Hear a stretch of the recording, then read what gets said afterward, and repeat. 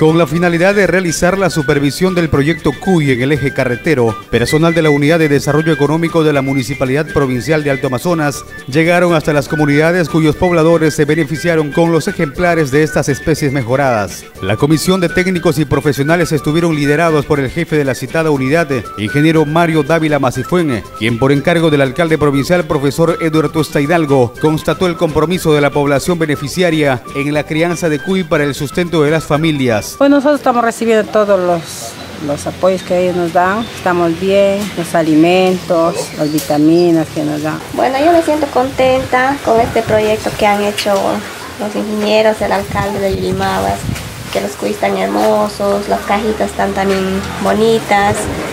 Y agradecer al alcalde que ojalá que siga más adelante y dándonos un apoyo más. Gracias a las autoridades, como el alcalde municipal de la provincia de Amazonas, que se ha, preocupado sobre este tipo de, de, de la creencia de cuy.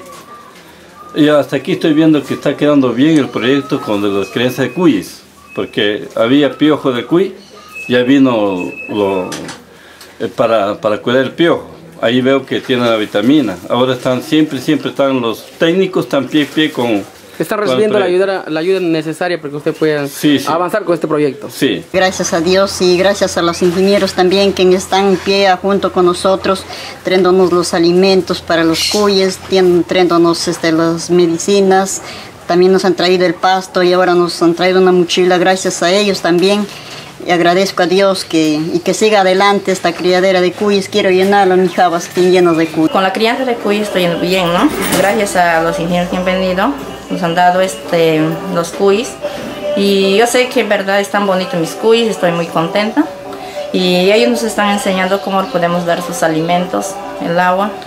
Y estamos muy contentos en verdad a recibir los cuis. Yo estoy recibiendo, este, como te puedo decir, normalmente todos los productos que están entregando este, el comité, los chicos, los técnicos que vienen de Yurimagua nos están dando asesoría técnica nos encontramos, este, como te puedo decir, felices, contentos al recibir todo este proyecto, por lo que este es un beneficio para nuestros, nuestra esta asociación y al mismo tiempo para nuestros hogares. En la visita los especialistas constataron el proceso de reproducción de las especies mejoradas de cuy en las comunidades asentadas en el Valle del Shanusi, como también en la zona de la carretera Yurimagua-Tarapoto. El equipo realiza permanentemente acompañamiento a las familias beneficiadas. Mario Dávila Macifuen, responsable de la supervisión, indicó que el proyecto comprende la asistencia técnica respectiva y la dotación de material logístico que garantice el sostenimiento de la inversión que dispuso el alcalde de la provincia, profesor Eduardo Estaidad algo en tan importante proyecto de apoyo a las familias del campo. Dentro del plan operativo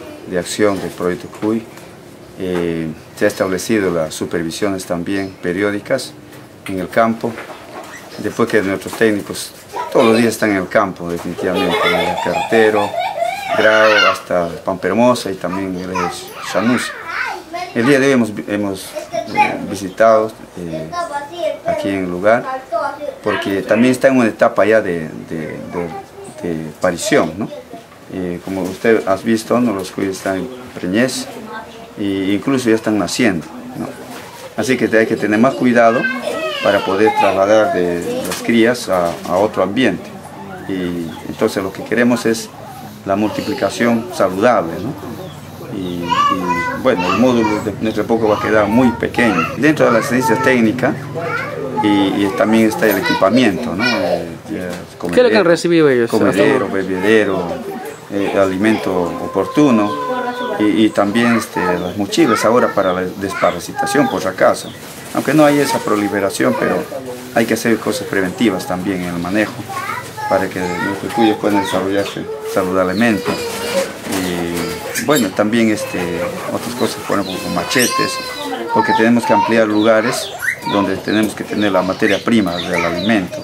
Dávila Macifuen sostuvo que los beneficiarios asumen el compromiso y la responsabilidad de crianza de estas especies a fin de ampliar el ámbito de acción por parte de la municipalidad, garantizando además el mercado para la producción de cuy en toda la jurisdicción de la provincia. Como ellos son asociación, nosotros queremos que ellos eh, realmente tienen acceso al mercado, pero de una forma organizada. Para eso ya eh, eh, nosotros dentro de pymes estamos eh, también preparándolos para comercialización dentro de la asistencia técnica. ¿no? Queremos que esto tenga mercado, bueno, tiene mercado definitivamente, solamente que hay que organizarlo mejor y, de cómo vamos a comercializar cuando llega esta etapa. Dentro del plan de la, de la gestión municipal, estos son primeros módulos y estas semillas, como se dice, ¿no? estos primeros módulos van a servir de semillero para seguir proyectándonos a más beneficiarios que, requiere el eje carretera. Definitivamente, por falta de presupuesto, a veces no se pueden hacer eh, mayor número de proyectos, pero este es un inicio para poder eh, ir incrementando y hacer de esto una cultura de, de, en esta zona y luego pasar también a otros ejes carreteros que lo necesitan.